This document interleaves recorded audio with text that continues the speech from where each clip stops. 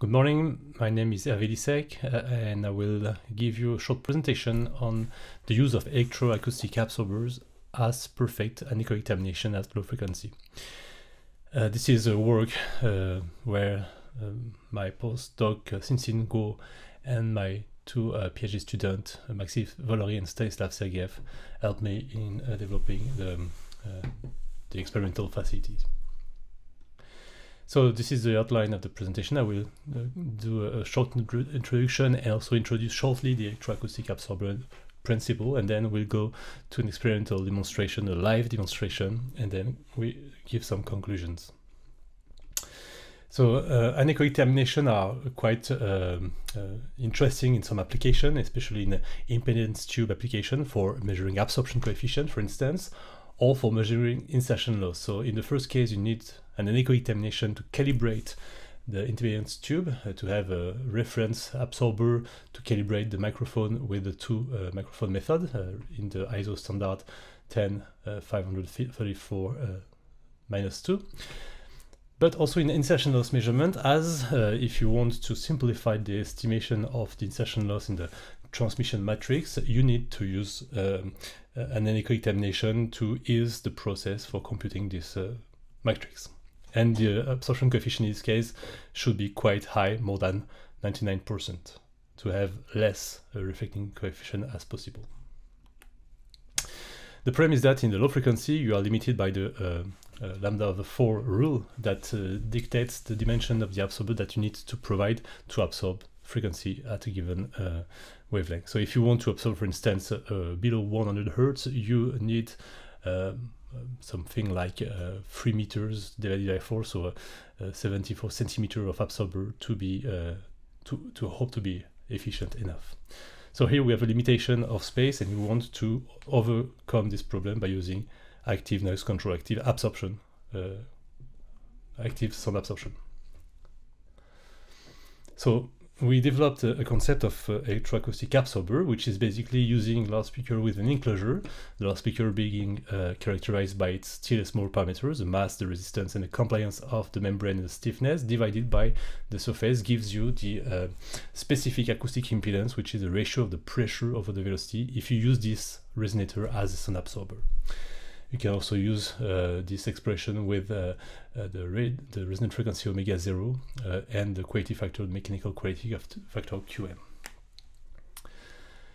Basically, if you feed the coil with a certain current A, it gives a certain feed force uh, that will uh, add up with the pressure to change the velocity at the output.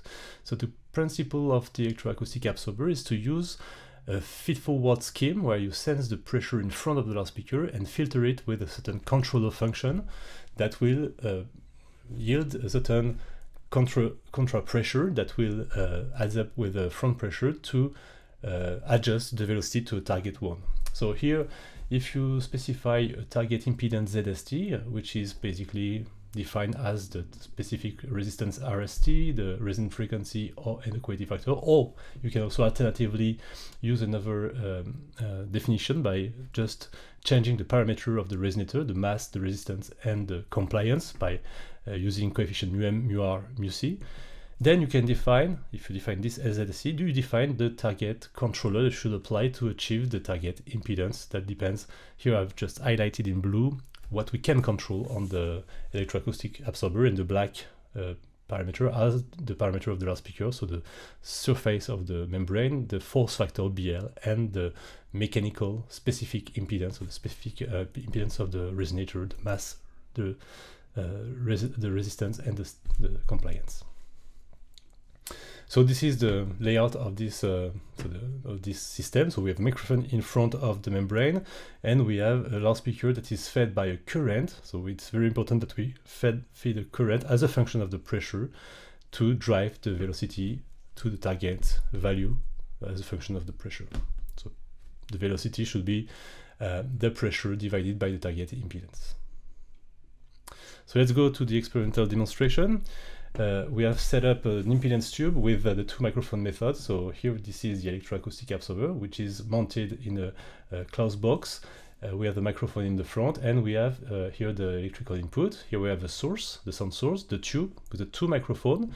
Uh, so the three microphone, the two for the measurement and the one for the control are uh, conditioned by this ICP conditioner, which is made for ICP microphone. And these microphones are used in the Speedgoat. So one part is for the control. So this microphone will be used in the control to feed back a current to the loudspeaker through this uh, current drive amplifier that drives the current of the electroacoustic absorber. And on the measure measurement side, you have the two microphones that are used here to uh, compute the transfer function and then de derive the impedance of the, the absorber or the absorption coefficient. And all these things, or the, the amplifier is fed by the DC power supply here. The first step of the calibration of the control is to measure the loudspeaker in the enclosure in open circuit. So we'll unplug the loudspeaker so that it's open circuit and we do the measurement of the absorption coefficient or the impedance of this loudspeaker. So as you can see uh, on the figure on the right, you see that the absorption coefficient presents a maximum, which is around at the resonant frequency of the loudspeaker in the enclosure, which is in the range of 150 hertz. Uh, on the left uh, scheme, you see the amplitude and the phase of the impedance, and you see that at the resonance, the phase is equal to zero. So this is the dashed line curve uh, that goes from minus pi over 2 uh, over plus pi over 2, and the magnitude as um, present a, um, a minimum at the resonance, which is equal to the value of the acoustic resistance of this uh, loudspeaker, which has a certain value. Now we do the same measurement, but in short circuit. So I have this plug, which is basically a short circuit. So I will just plug it to the loudspeaker, and we repeat the measurement.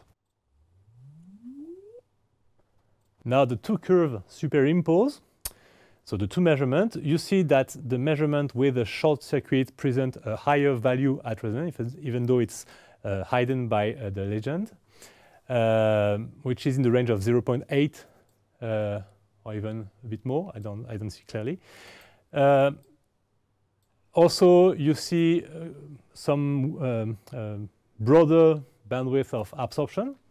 And you see that on the left curve that uh, the resonance you still have a phase of impedance that is equal to zero and the amplitude of the, uh, the impedance has been shifted towards uh, higher values.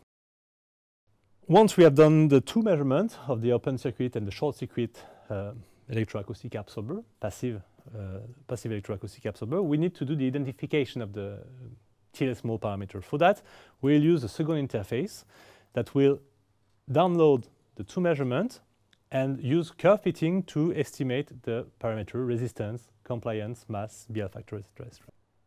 And we get uh, those estimations that you see on the uh, new figures that uh, pops up, uh, which also provides estimation of new values for the resistance, the compliance, um, the, the mass, and the force factor. Now let's dig to the very interesting part of this uh, presentation. We will uh, set the control. And first we will work with a broadband sound absorber. So first of all, you see this interface. We have the possibility to assign a prescribed a given uh, target uh, acoustic impedance. So for now, we have no control. So the values of the target uh, impedance are, so the coefficient mu r of resistance, mu m of mass, and mu c of compliance are all equal to 1. So we don't change uh, the passive loudspeaker. Now we want to assign uh, an impedance to the loudspeaker, which is rho c. So we will uh, fill the, the field of the target impedance with rho c, or the normalized rho c, which is 1. And then we will, um, we will do first uh, a first uh, measurement with this setting with mu uh, m and mu c uh, is equal to 0.1, for instance. So we define the control law. Here we have the, both the diagram of the control, uh, the, the, the, transfer function of the controller that we need to apply to the Speedgoat.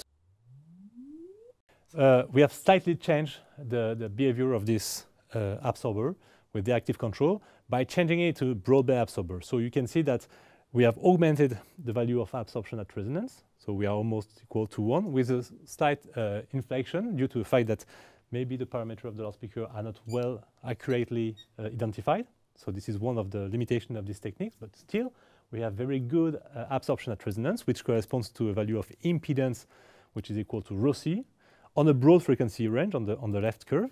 And we see that the, the, the, frequency band over which the absorption coefficient uh, exceeds 0.8 uh, is between uh, 60 hertz and 400 hertz, more or less. So in the former part, we have uh, shown how to set a broadband sound absorber for almost one decade, but you have seen that the absorption coefficient was not optimal in the band of the frequency of interest. And if you want to apply this for uh, an anechoic termination for insertion loss measurement, we need to get much higher absorption coefficient, let's say 95% of absorption.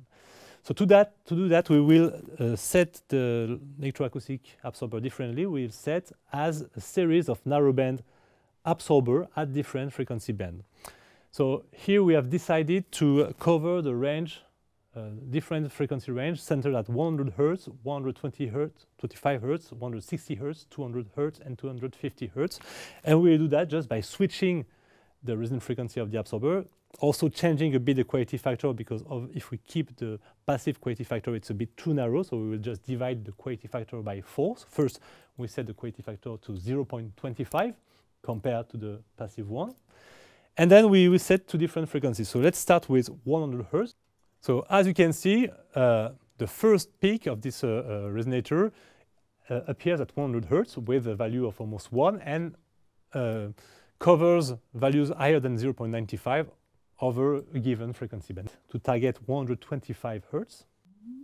Once again, we have shifted the resonant frequency towards 125 hertz. Let's move to uh, the fourth one, which is uh, centered at 200 hertz. Last, we achieve we will uh, end with 250 hertz. So you see that we are able to cover different frequency band with optimal absorption coefficient, allowing us to use this, this electroacoustic absorber as an anechoic termination for different frequency range, obviously, in a view to measure, uh, for instance, insertion loss in uh, an impedance tube. To conclude, we have seen that we can achieve an effective ideal anechoic termination for impedance tube down to 100 Hz with dimension smaller than lambda of 30, which is dimension of the electroacoustic absorber, which is 10 centimeter depth.